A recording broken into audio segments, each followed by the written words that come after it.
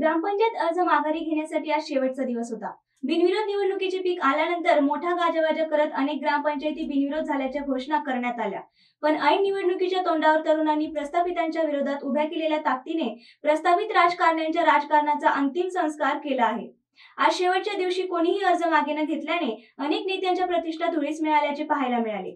त्याचबरोबर देशात आदर्श असा लौकिक असणाऱ्या पारनेर तालुक्यातील राळेगण सिद्धी आणि नगर तालुक्यातील हिवरे बाजार येथेही निवडणुका होणार असल्याने त्यांच्या प्रतिष्ठा धुळीस मिळाल्या आहेत. ग्रामपंचायत निवडणुकीची रणधुमाळी शिगेला पोहोचली असून आज अर्ज मागे घेण्याच्या शेवटच्या दिवशी तालुक्यातील अनेक गावांमधील तरुणांच्या पॅनलने घेतलेल्या निर्णायक भूमिकेमुळे बिनविरोधचा प्रचार करणाऱ्यांचे दात घशात गेले आहेत. बिनविरोध ग्रामपंचायत निवडणुकीच्या राजकारणातून जन्माला आलेल्या तरुणांच्या तिसऱ्या पॅनलने प्रस्थापित राजकारण्यांच्या राजकारणाची कबर खणली असून निवडणुकीच्या निकालानंतर बिनविरोध सेटलमेंटला मुठमाती मिळणार आहे. तालुक्यातील नेत्यांच्या प्रतिष्ठेचा प्रश्न बनलेल्या बिनविरोध ग्रामपंचायत निवडणुकीला अनेक गावांमधून सुरुवातीच्या कालखंडात कडवा विरोध झाला. या मतदारांवर दबावाने लादलेल्या बिनविरोध निवडणुकीचे षडयंत्र तरुणांनी हाणून पाडले आहे. अर्ज मागे घेण्याच्या दिवशी तरुणांची मनभरणी करून त्यांची इमोशनल ब्लॅकमेलिंग करत त्यांना अर्ज माघारी घेण्यासाठीचे प्रयत्न करण्यात आले. पण आज अर्ज माघारी घेण्याच्या अखेरच्या दिवशी सुद्धा तरुण वर्ग मात्र लढण्यावर ठाम राहिला असल्याचे चित्र दिसून आले. आज अनेक गावांमधील उमेदवारांनी कुठल्याही आमिषाला बळी न पडता अर्ज मागे न घेण्याच्या भूमिकेवर ठाम राहिल्याने सेटलमेंटच्या राजकारणावर अंतिम संस्कार झाले आहेत. Bureau report Maybhumi news Parner.